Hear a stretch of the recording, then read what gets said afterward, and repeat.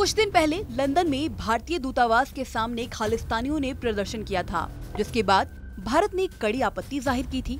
अवतार सिंह खांडा का नाम इस घटना में आया था। खालिस्तान का समर्थक और अमृतपाल को गाइड करने वाले अवतार सिंह खांडा की बर्मिंघम के अस्पताल में मौत हो गई है। खांडा एनआईए की हिट लिस्ट में था। खांडा आईसीयू में लाइफ सपोर्ट पर था। पिछले कुछ दिनों से उसकी हालात नाजुक थी, जिसके बाद उसने देर रात को दम तोड़ दिया। पिछले हफ़्ते अवतार सिंह खांडा को हॉस्पिटल में भर्ती कराया गया था। खांडा के समर्थकों ने उसे अस्पताल में जहर देने की आशंका ज़ाहिर की थी। अवतार सिंह खांडा खालिस्तानी लिबरेशन फोर्स का मुखिया था। खांडा पंजाब के मोगा का रहने वाला था। खांडा का परिवार अब भी मोगा में ही रहता है। उसकी माता चरणजीत कौर एक स्कूल में टीचर हैं। और उसकी एक बहन भी है। खांडा 2014 में काम की तलाश में इंग्लैंड गया था।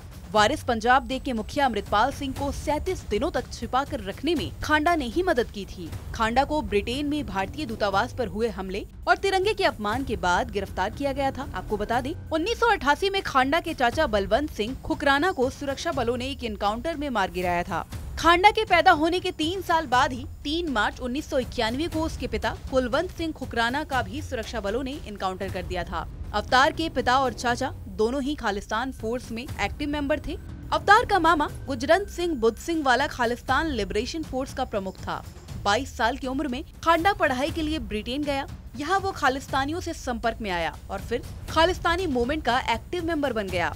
इसके बाद अवतार सिंह खांडा अकाली दल संगठन से जुड़ गया। खांडा के बारे में कहा जाता है कि वो बम बनाने में माहिर था। सुरक्षा एजेंसियों की माने तो खांडा आईडी और दूसरे तरह के हथियार चलाने में भी माहिर था। उसने भारत लौटने से पहले अमृतपाल को मिशन खालिस्तान के तहत ट्रेनिंग दी थी।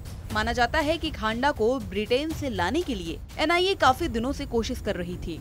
अमृतपाल से पहले वारिस पंजाब दे संगठन को चलाने वाले दीप सिद्धूर से भी खांडा की काफ़ी अच्छी बातचीत थी।